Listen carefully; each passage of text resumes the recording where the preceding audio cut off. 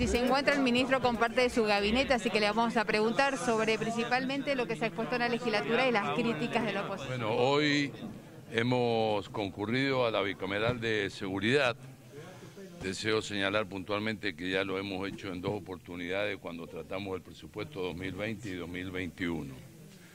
Pero lamentablemente nos encontramos con una interpelación de la Cámpora, una interpelación del kirchnerismo, que siempre desnota, este, grita, agravia a quienes venimos a exponer puntualmente de una política de seguridad. ¿No estuvo tranquilo en el lugar? Mendoza tiene una política de seguridad pública que comenzó con el gobierno de Cornejo y que continúa con el gobierno de Rodolfo Suárez, basada fundamentalmente sobre la base del recurso humano, de la tecnología aplicada a la seguridad y fundamentalmente de la indicación de datos para la toma de decisiones. Quiero señalar que estos mismos que hoy nos interpelan son los que estaban con jaque cuando hablaban del mapa del delito. Y después tuvieron que pedir disculpas a la ciudadanía porque mintieron. Estos mismos que hoy nos convocan son los que participaron en el gobierno de Paco Pérez, cuando se desmanteló el parque automotor. No había nasta para patrullar. No tenían chaleco los policías. Ministro, pero están preguntando también por la situación actual. Permítame, permítame decir que quienes hoy nos convocan son precisamente los que no tenían balas para darle a la policía.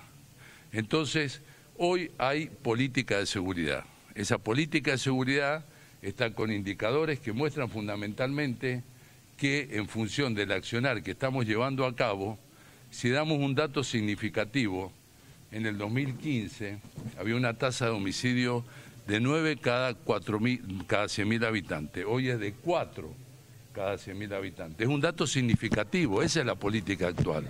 Es decir, que estamos... que han bajado los delitos y cuáles. que le dan a la gente que hoy tiene problemas de inseguridad. ¿Qué va a hacer el Ministerio? El Ministerio, sin lugar a duda, que hay una situación económica compleja, que es la inflación, que es el desempleo. Por eso estamos trabajando y seguimos trabajando desde el comienzo con todo lo que es el equipamiento, vamos a comprar más móviles, estamos capacitando a todo el personal, hemos comprado drones, estamos trabajando en conjunto en una planificación perfectamente diseñada en función de los datos que nos están dando resultados. La posibilidad que se pueda trabajar con la oposición, teniendo en cuenta que ustedes van a comenzar a venir más la bicameral, como dijo, ellos podrían ir al ministerio y a partir de eso, eh, desde la oposición dice que se necesitan principalmente más recursos. ¿Por dónde encararían, digamos, si esto se va a poder hacer en conjunto? Mire, eh, el gobierno de... Esto es una política de seguridad que comenzó con el gobierno de Cornejo y de Suárez. Y, nunca se invirtió tanto en bienes de capital como lo hizo el gobierno de Cornejo y el gobierno de Suárez. Próximamente se incorporan 200 vehículos. Estamos capacitando a nuestro personal estamos trabajando en función de la minería de datos, que es el observatorio, en el cual nos indica puntualmente todos los valores para la toma de decisiones. Lo que hemos planteado es que si realmente les interesa el tema de la seguridad, porque nunca aplicó el justicialismo, la cámpora, un plan de seguridad, vamos a venir a la bicameral y vamos a trabajar en función de hacer aportes fundamentalmente para cuidar a los mendocinos. su gestión, ministro? Mire, la gestión la tiene que evaluar en función de los indicadores.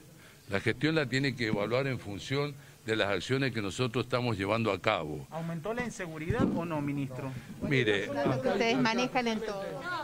Acá hay una acá hay, acá hay una situación, acá hay una situación puntual, acá hay una situación puntual.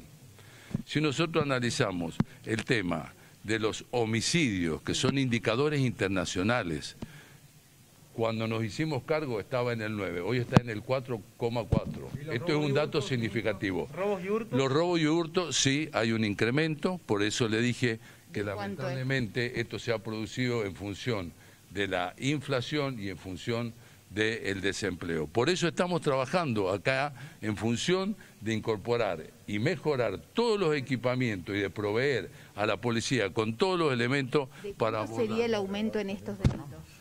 El delito ha aumentado en función de la situación económica, son variables. ¿El porcentaje, los números que ustedes tienen? Esos valores lo da el, el Ministerio Público, sí hay un incremento, por eso estamos trabajando en esas modalidades que se plantean, por ejemplo, como es de público conocimiento, en barrios privados, como se ha dado en situaciones de estafa, como se ha dado en situaciones de delito en lo que es plataformas digitales. Bueno, estamos trabajando puntualmente en cada una de esas acciones. ¿Es válido, hacer un análisis con datos cuando estuvimos durante todo el 2020 confinados por una pandemia y que recién se pueden empezar a tomar ahora en el 2021 que la gente también sale más con respecto a robos, homicidio, agravado, hurto, etcétera? Mire, usted acaba de señalar dos indicadores fundamentales y lo tengo que reiterar que son indicadores que son lamentables porque hace a las víctimas, pero hace a la política de seguridad pública. Si usted habla de homicidio, tengo que volver a insistir y decir que cuando nos hicimos cargo en el gobierno en 2016, que es una política de continuidad, estábamos en el 9,4%. Hoy estamos en el 4,4%. Ha bajado considerablemente. Robos agravados con uso de arma, que otro indicador significativo, también tuvo una baja del 30%.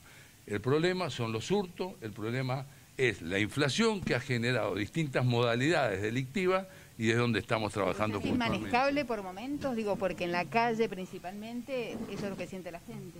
Mire, eh, sin lugar a duda que eh, esta situación es compleja, pero estamos trabajando en función de lo que le señalé, capacitando al personal, trabajando con tecnología, en función de proveer a la policía con todos los elementos necesarios. Tenemos drones, más cámaras, más móviles y trabajando fundamentalmente en un observatorio con indicadores donde esos indicadores nos permiten a nosotros tomar Y en decisiones. el caso puntual de los femicidios también le expusieron lo que tiene que ver con Florencia Romano. ¿Se tomará alguna política en particular? Mire, cuando hay una política de seguridad que comienza y que lleva ya seis años, los puntos de inflexión lo determina la misma política de seguridad. Nosotros estamos trabajando en el CEO, donde implementamos una plataforma con una nueva tecnología y estamos capacitando a todo el personal ¿Y del qué CEO. falla, entonces? ¿Cuál es la falla? La- ¿Cuál es la falla? Nosotros estamos trabajando puntualmente en lo que hace específicamente a lo que es el perfeccionamiento de una nueva plataforma en el SEO y capacitando a todos los que están incorporados en el SEO en lo que es la ley Micaela en violencia de género y capacitando a cada uno del personal cada vez que ingresa sobre esta situación. ¿Cómo es la capacitación? investigados por violencia de género. ¿Cómo? ¿Cuántos policías hay en este momento investigados por violencia de género?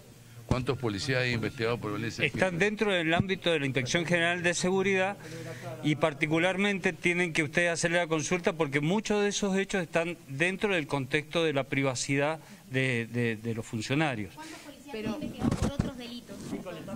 Les vuelvo a decir, los, los policías investigados por delitos en todo el orden es la Inspección General de Seguridad la que hace la apertura de la investigación y algunos de los casos inclusive en forma reservada.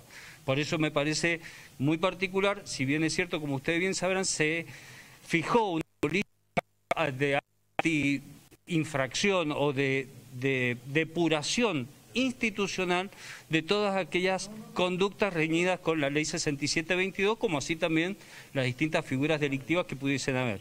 En En particular, disculpe, en particular me parece que es la Inspección General de Seguridad la que tiene competencia de brindar esa información específica, tanto sea de los delitos provenientes de la violencia de género como de los delitos en general. En el caso de violencia de género, por ejemplo, de Florencia Romano, usted explicó que, bueno, el error fue de la operadora, esto ya se ha dicho. ¿Qué falla todavía en la policía para terminar con esto y que la gente encuentre una respuesta cada vez que va y hace una denuncia?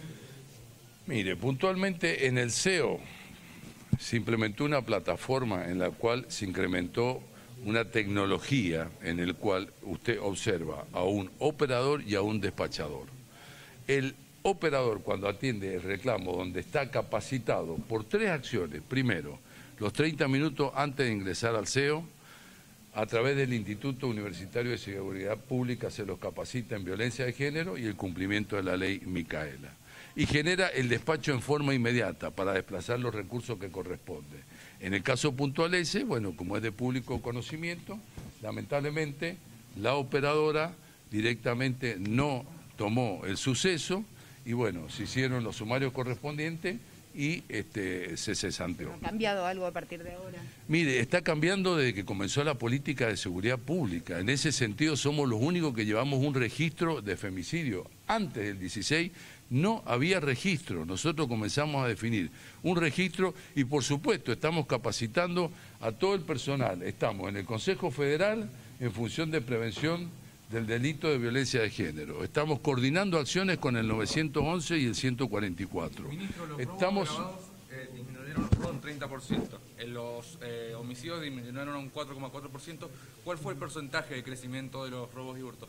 Se expresó mal, discúlpeme, lo que disminuyó fue a un porcentual, que no es porcentual porque sería por cada 100.000 habitantes, de 4.4, de 9.4 que estaba por cada 100.000 habitantes. Es- y el porcentaje de la disminución, eh, y aluciendo, eh, haciendo alusión a la consulta suya. Cuando hacemos la comparativa, entendemos que el año 2020 fue especialmente eh, a tratar por la situación de pandemia. En tal sentido, porque lógicamente había mucha menor circulación de personas en la vía pública y lógicamente había una disminución muy marcada de todas las figuras delictivas. En tal sentido, por eso es que se toma como parámetro el, da- el año 2019 con relación al 2021. Si lo, solo lo comparamos con el 2020, recordemos que fue la Universidad de Cambridge la que eligió la provincia de Mendoza por confiabilidad en su información y fue elegida entre las cinco ciudades del mundo que había tenido mayor disminución de delitos en ocasión de pandemia. ¿Está contestada? 30% le dije. No, no, ¿cuánto aumentó? Perdón. La pregunta es concreta, ¿de qué cifra estamos hablando del crecimiento de robos y hurtos? ¿En qué cifra numérica dice usted? El Ministerio Público Fiscal tiene el registro numérico diario, mensual y anual de la cantidad de robos agravados. Yo le doy este parámetro. Bueno, ahí En estamos escuchando lo que está 2015, diciendo el jefe 10 de la policía, Roberto Munives, junto al ministro de Seguridad, Raúl Lebrino, los dos en la legislatura de Mendoza estuvieron hace algunos minutos expusiendo, exponiendo, perdón, Sí. estuvieron exponiendo